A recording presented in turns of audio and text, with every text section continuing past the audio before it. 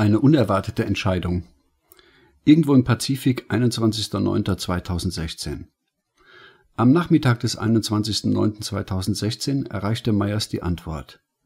Man war der Meinung, Christoph sei nicht weiter zu benötigen. Eine Rücksendung nach Frankfurt sei nicht erwünscht. Er solle beseitigt werden. Gleichzeitig solle ein Spezialkommando losgeschickt werden, um dafür zu sorgen, dass seine Familie auf dem Heimweg von Rumänien einen Autounfall haben würde. Die Vorgehensweise hierzu sei ja bekannt. Die Mail war in Kopie an alle fünf Entscheider auf der Fregatte gesendet worden. Meyers wurde angewiesen, alles umgehend in die Wege zu leiten. Man traf sich sofort zu einer Lagebesprechung. Meyers spürte eine tiefe Abneigung, Christoph seinem finalen Schicksal zuzuführen. Aber Befehl war Befehl. Nach einem kurzen Meinungsaustausch war man der Auffassung, dass es das Einfachste sei, ihn über Bord zu werfen. Niemand würde ihn finden. Man holte also Alex aus seiner Kabine, band ihm die Hände mit Textilklebeband auf den Rücken und ging mit ihm zum Achterdeck. Alex war klar, was nun kam. Er ging schweigend zwischen seinen zwei Bewachern.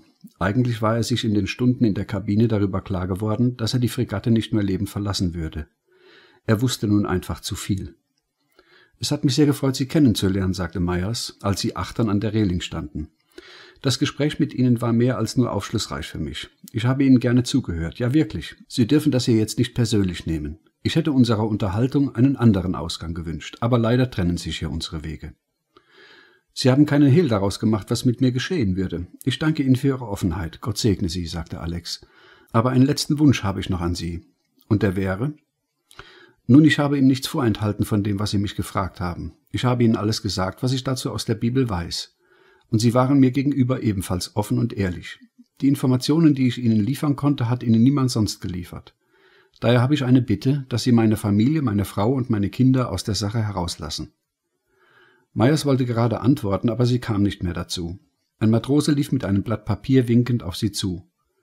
Außer Atem überreichte er Meyers die Mail, die sie kurz überflog. Kommando zurück, befahl sie. Christoph kommt bis auf weiteres in seine Kabine. Was ist denn los? fragte Holloway unwillig. Christoph soll auf dem schnellsten Weg nach Jerusalem geflogen werden, zu irgend so einem Rabbi. Sie schaute kurz auf die Mail. Schleerstein, nie gehört.